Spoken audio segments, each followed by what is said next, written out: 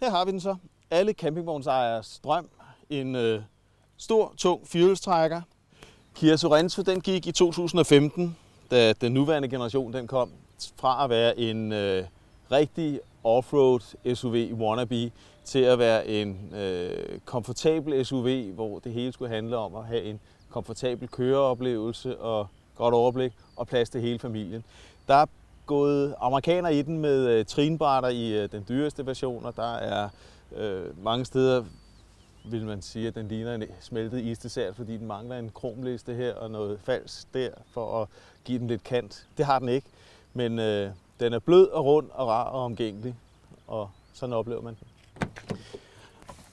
Og Sorento er jo en bil til hele familien. Der er plads til tre personer på bagsædet. Du kan læne ryglænet tilbage, hvis øh, du ikke øh, generer nogen om bagved. Der er jo tre sæderækker. Og gulvet det er helt plant uden kadence, selvom øh, det er fjulstrækker. Så øh, man er faktisk rigtig godt hjulpet til øh, ferieturen med unger og bagage og hele Mulchausen. Til hverdag der bruger man nok ikke alle syv sæder. Der er jo to ekstra sæder om bagved. Men øh, øh, en gang imellem, så kan det godt være, at man lige skal en tur til fodbold med ungerne. Nemt nok. Det er hurtigt klaret. Eller sådan der. Man tager bare lige og flytter denne her et hak fremad. Sådan der. Og så trækker man i snoren.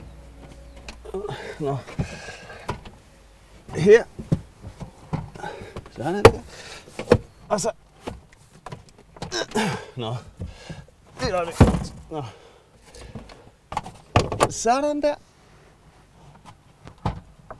Sådan der. Så er det på plads. Og så skal man så her. Nå. Men så skal man have det helt ud. Og der er et fladt gulv her, hvor den kan ligge. Der er lige plads til den. Og så Det er nok mest til børn, men øh, der er plads til syv. Men det er jo ikke altid, man kører rundt med alle miniputterne i sin syvpersoners SUV. Det kan også være, at man skal bruge lidt ekstra bagagerum, og så, øh, ja, så, så tager du denne her. Og, og vi skal lige have, ja, behøver jo ikke gøre det mere besværligt, end det er. Sådan der. Og så hænger man den her op i de... Oh. Læg mærke til, at der er to huller. Det her, det er så ligge ned i komfortpositionen. Og så er vi her, og så har vi et bagagerum på 600 godt og vel liter. Og så kan man trække i den her. Sådan der. Og i den der.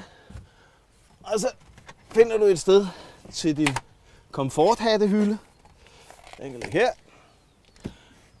Og så har du et varerum på 1700 liter til at køre på genbrugsstationen med.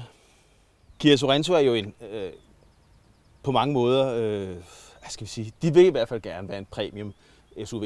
Og sådan et lille, solidt suringsøje som det her, er, det er der fire af i bagagerummet. Det er super, og man får en fornemmelse af, at øh, det er god kvalitet. Her kan du gøre dine ting fast. Og så kommer der sådan en base her, som skulle bare virker lidt Kia Ceed dalerværk basismodelagtigt. Det kunne de godt gøre bedre til den pris, ikke? Campingvognen de bliver større og større. Vi vil have mere og mere luksus, vi vil have mere og mere komfort, når vi er på camping. Og øh, det kræver nogle kvadratmeter, men de kvadratmeter gør jo så også, at vi får nogle enormt lange campingvogne. Det stiller nogle krav til bilerne. De skal kunne tumle en større vægt, og de skal kunne øh, håndtere den længere og større og tungere campingvogn. Det kan samtidig være et problem, for en ting er, at mange biler i dag må tage både 1,6 og 1,8 ton på krogen. Men det er ikke det samme, som de er betryggende at køre med. Men Sorento,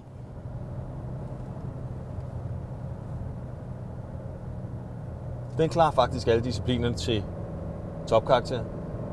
Man kan blive overrasket over det, fordi når man bare ligger og triller afsted med campingvogn eller uden campingvogn, det er sådan set ligegyldigt, så er det lige før, man kan blive køresyg på bagsædet. Men øh, køreegenskaberne, de fejler ikke noget. Og igen, jeg har ikke brug for det ekstra udstyr, der er i, øh, i topmodellen GT Line. Øh, paddle shift på øh, den her halvsløve automatgearkasse giver ikke rigtig nogen mening. Til gengæld er jeg rigtig glad for, øh, at jeg kan skifte mellem sport og øko-mode, og der er også komfort, og lad være med det, for det er der, man bliver køresyg. Men øh, som jeg sagde før, øh, den mellemste udstyrsvariant, den, øh, den øh, opfylder nok de fleste krav. Du kan selvfølgelig smide 20.000 ekstra efter den for at få øh, lederstue, men jeg har ikke brug for at give 20.000 for at få et Velux-tag i min bil. Det er, som man har lyst til, men øh, hellere bruge dem på autobanen, når man skal ind og have en bil og sådan lidt. Der er lige et par spidsfindigheder omkring øh, Sorento. For det første, øh, det her det er jo topmodellen med øh, en 2,2 liters øh, turbodiesel. Den har 200 heste og et solidt bundtræk. Øh, basismodellen har en 2,2 liters øh, turbodiesel med 200 heste og et solidt bundtræk. Fordi der er kun én motor øh, tilgængelig, så det valg er truffet for dig i forvejen.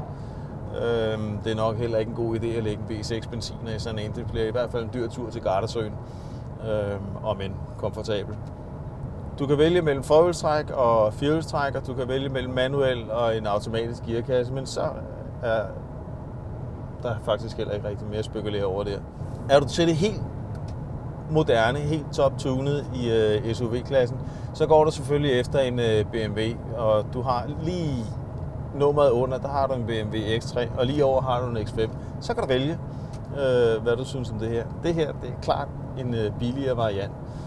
Uh, men kigger du rundt i Sorrento, så kan du godt se, at øh, der er flere knapper at vælge imellem. Der er det er dejligt overskueligt, fordi øh, knapperne og betjeningsgreb, de sidder i sådan gode øh, separate grupper.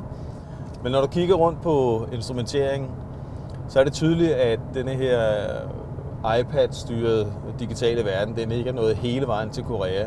En øh, lille 8-tommer skærm, det er hvad der er i, også i topmodellen. Men øh, du har 12 volts øh, udtag AUX og USB-lader både for og bag over det hele, og øh, kopholder til op over begge øer. Det er verdensklasse til øh, ferieturen. Kia Sorento er på mange måder den ultimative campingtrækker. Den er tung, og den er stærk, og den er firehjulstrukken med øh, automatisk øh, firehjulstræk, når du har brug for det, når du sidder fast på en campingplads. Det er glat. Super. Men til 700.000, som øh, topmodellen her den koster, med øh, GT-line pakke, hvor man får sådan et øh, trinbræt med. Jeg har heller ikke brug for 19 tommer alufælge til en øh, familieflyder, som det her er, jo er, og røde bremsekaliber. Nej, heller ikke. Jeg vil vælge at spare de øh, 50.000 kroner, og så tage en advanced udstyr, og så være godt tilfreds med det. Fordi uanset hvordan du vender og drejer den, så er Kia Sorento en helt suveræn campingtrækker. Ingen tvivl om det.